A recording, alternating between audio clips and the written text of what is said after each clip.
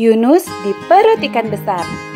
Kisah ini terdapat dalam Alkitab, yaitu dalam Yunus pasal 1 dan 2. Pada suatu hari, Tuhan menyuruh Yunus pergi ke Niniwe untuk memperingatkan orang-orang Niniwe. Tapi bukannya menuruti Tuhan, Yunus malah pergi ke Tarsis. Kemudian, turunlah angin ribut dan badai, menghantam kapal itu sehingga hampir hancur. Orang-orang di kapal itu menjadi sangat takut. Masing-masing berteriak-teriak kepada Allahnya dan mereka membuang ke dalam laut segala muatan kapal itu untuk meringankannya. Tapi Yunus malah turun ke ruang bawah kapal dan tertidur di sana dengan nyenyak. Yunus, Yunus, bangun. Kamu harus berdoa kepada Allahmu agar dia menyelamatkan kita. Yunus kemudian menyadari bahwa hal itu terjadi karena ia telah melarikan diri dari perintah Tuhan. Lalu Yunus berkata, "Angkatlah dan buanglah aku ke laut, sebab aku tahu karena akulah sehingga badai besar ini menyerang kalian." Lalu orang-orang itu sekuat tenaga mendayung perahu untuk kembali ke darat, tapi laut semakin bergelora.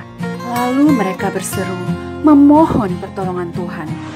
Kemudian mereka mengangkat dan membuang Yunus ke laut.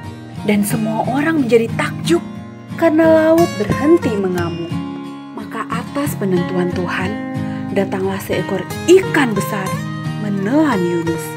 Dan Yunus berada di perut ikan itu selama tiga hari, tiga malam. Lalu berdoalah Yunus kepada Tuhan.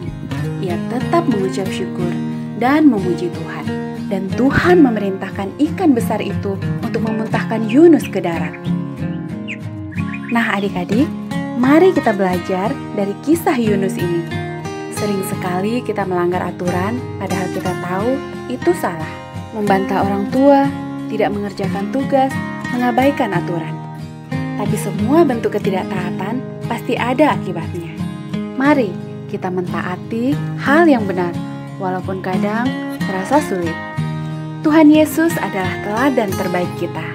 Ia taat sampai mati di kayu salib demi menembus dosa kita semua.